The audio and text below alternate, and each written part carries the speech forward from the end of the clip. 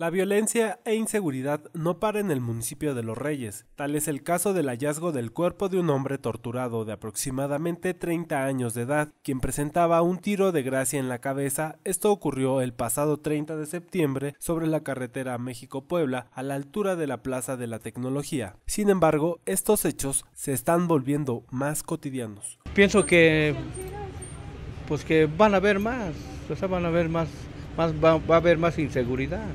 Necesitan quitar desde abajo los, todos los que están hasta desde arriba, perdón, para que puedan quitar la inseguridad.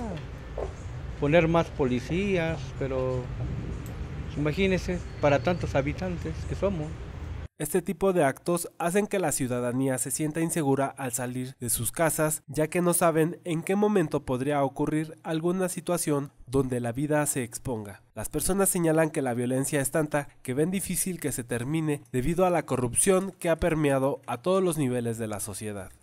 La inseguridad está tremenda, ¿no? está muy, muy, muy fuerte la inseguridad en la Ciudad de México, tanto en la ciudad como en el estado, ¿no? Yo vivo aquí cerquitas, aquí sobre Camelo Pérez y la verdad siempre ando aquí en el DF y se ve que está pésima la seguridad. La ciudadanía señala que se debería poner mano firme contra los delincuentes para que la violencia e inseguridad disminuya no solo en Los Reyes, sino en todo el país. Reportó para Canal 6 Marco Medrano.